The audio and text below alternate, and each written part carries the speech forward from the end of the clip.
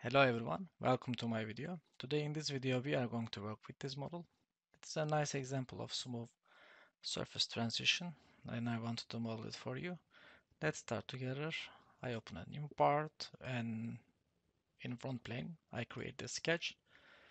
As always we do, firstly we create our lines and convert them into construction geometry so we can constrain our model better in this way.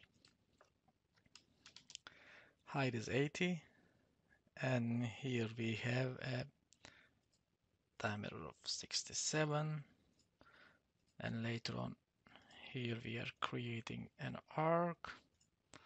This arc having a height of 6 for now it's okay.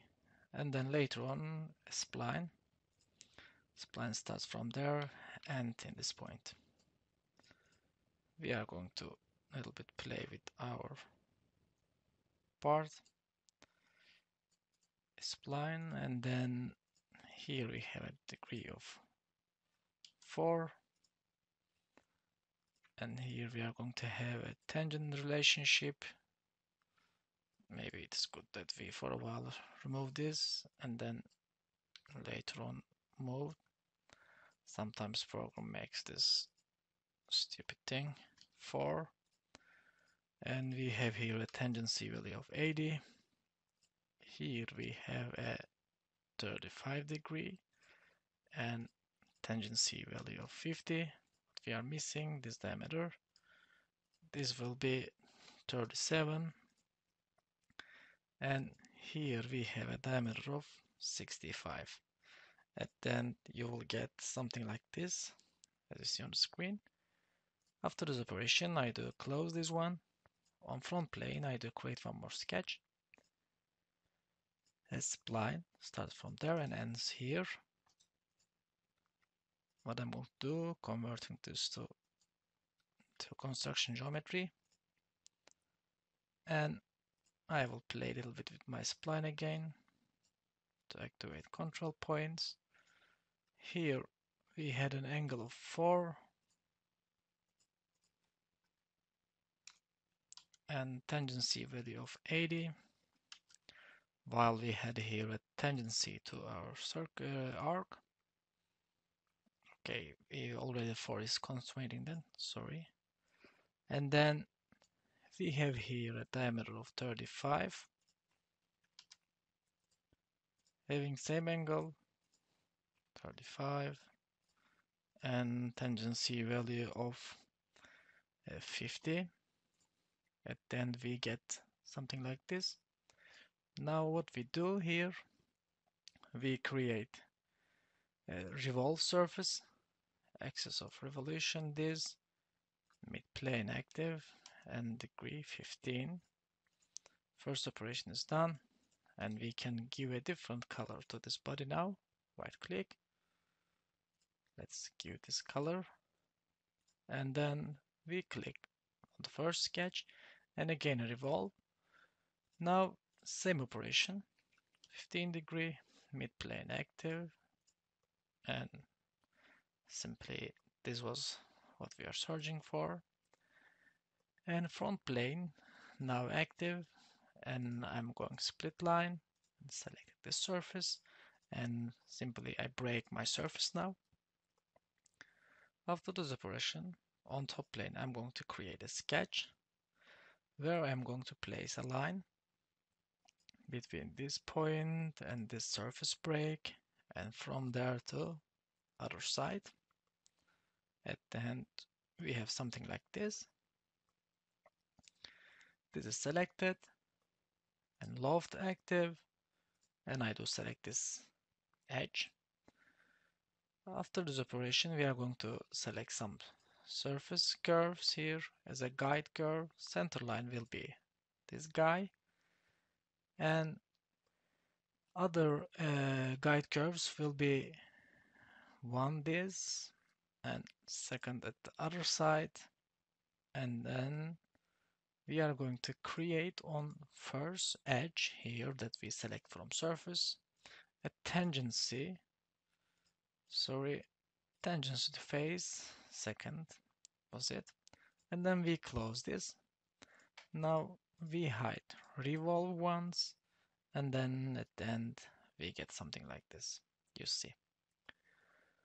This is our main surface.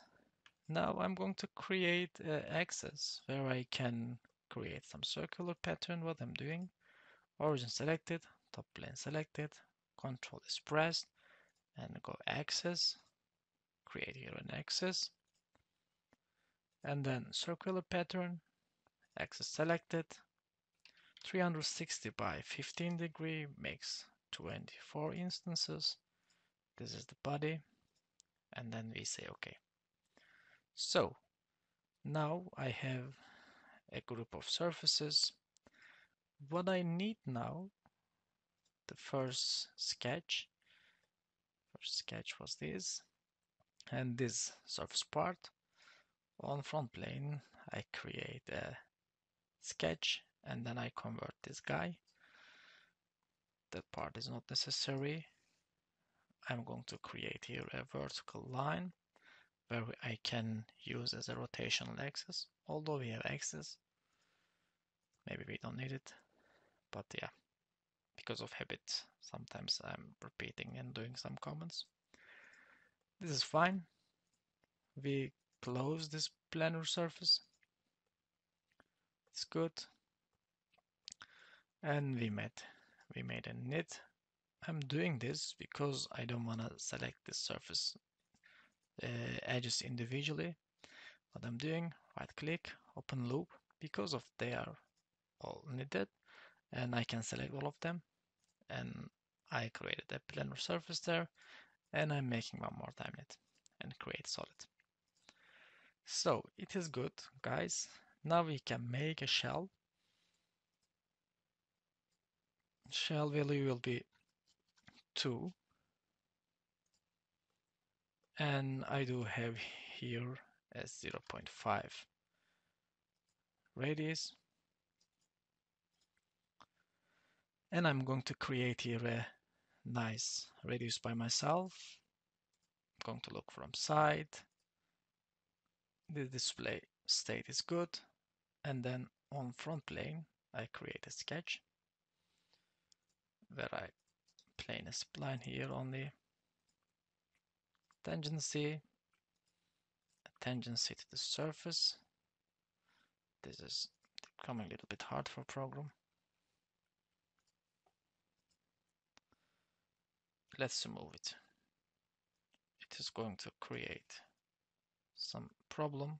It didn't work in this way, but I'm going to create here a line and I'm going to make this line tangent. Now it is working.